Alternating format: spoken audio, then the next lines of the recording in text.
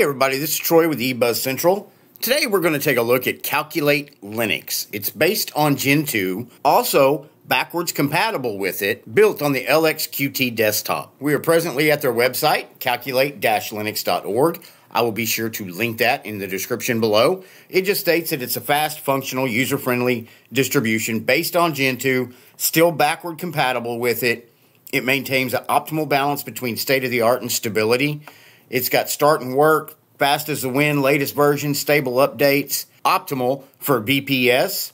You can get it on desktop, cloud, server, testing, and then, of course, documentation down here, help, Fediverse. And then if you go up top, it's got about products, the wiki, services, the community.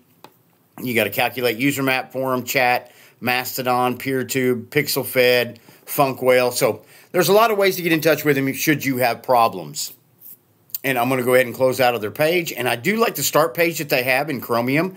Chromium is the default browser. Now you get stuff directly from Mastodon that shows in your news feed, and then you've got quick access to Mastodon, Telegram, Facebook, Insta, and YouTube. And I just like the way the start page looks. I think it's pretty cool. So I'm going to go ahead and close out of the website. If you download Calculate Linux, throw it on a USB, put it in a virtual machine, this is the screen you're met with. You do not get a welcome screen. First thing I want to do is right click. You can create new, select all, invert selections, sorting, show hidden, create a launcher, desktop preferences. Let's check that out. You've got your general preferences, which is your icons, label text, and spacing. You can even change your font here if you'd like to. And then backgrounds, stretch the entire screen, and then browse. I don't know if there's a bunch of backgrounds or if they're not all just the same. They look like they're just the same, just different resolutions. So I'm going to go ahead and close out of that and go to slideshow. Of course, you can set up a folder with certain wallpapers and it'll do a slideshow of them.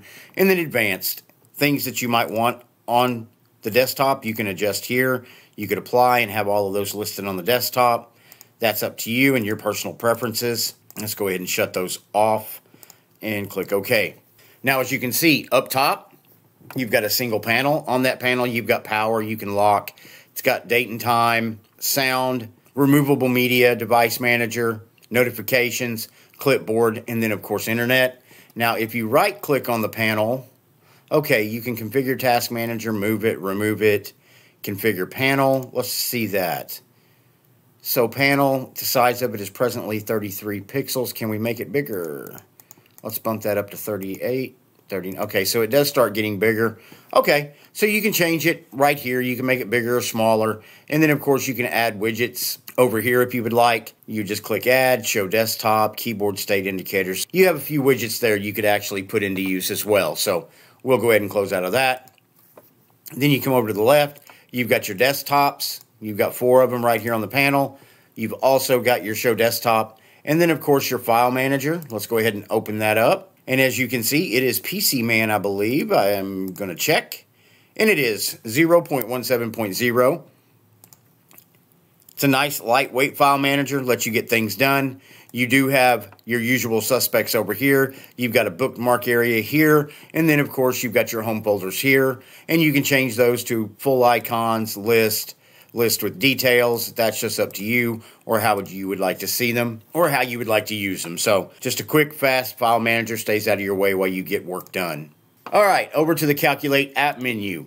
Drop down, you have accessories. You got FeatherPad, Calculator, PC Man, we just looked at. Graphics, FontForge, GIMP's installed out of the box. Internet, you've got Chromium, you've got Claws Mail, Remmina, Qubit Torrent, LibreOffice Suite, Sound and video, you got Clementine, PulseAudio, Volume Control. System tools, you got CPU-X, Gparted, QDirStat, Q Terminal. Let's go over and check out the QTerminal.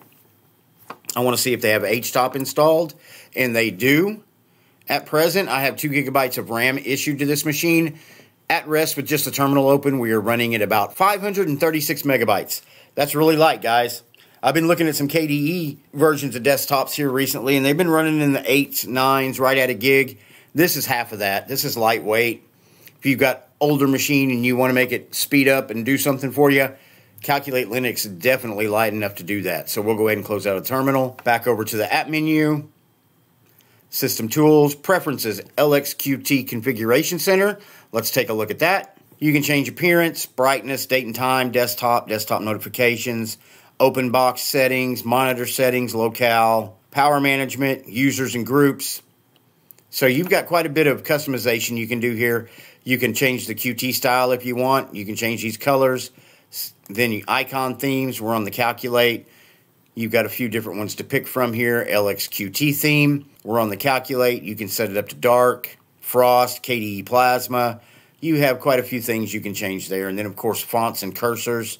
So we'll close out of that. Back up to the app menu. In preferences, we already looked at run program and then of course leave. Now, if you want to install software on Calculate Linux, I'm going to open this back up. Adding and removing programs is all done by command line. They do not have a software center, but I will put this down in the link below as well.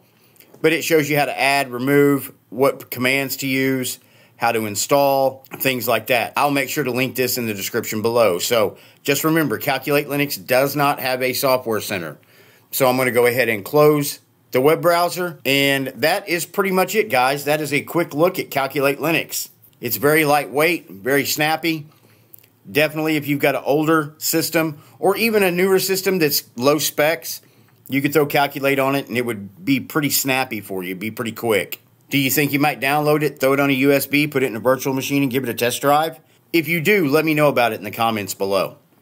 Do me a favor before you leave today. Please like, subscribe, or follow my channel. Doesn't cost anything, and if you end up not liking me, you can always unsubscribe. If you like the channel and like the videos that we're doing, you can buy us a cup of coffee, or maybe even become a patron to the channel over on Patreon. Those links are in the description below. Thank you for watching my video, and I will see you in the next video.